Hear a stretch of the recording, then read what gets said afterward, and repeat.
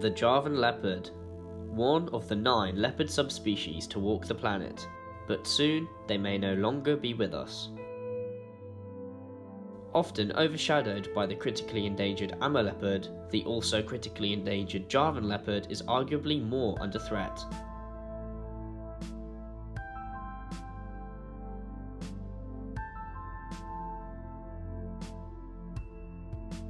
From the information that I found on the Zoological Information Management Software, aka ZIMS, there are just 11, yes, 11 Javan leopards in captivity.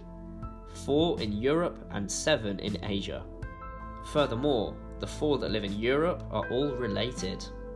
To ensure a species survival, it is important that there is a stable population of individuals in captivity, and the Javan leopard barely has that.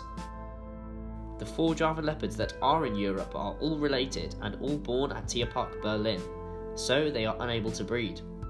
This could mean that Javan leopards in Europe could become no more unless some captive animals are brought over from Asia.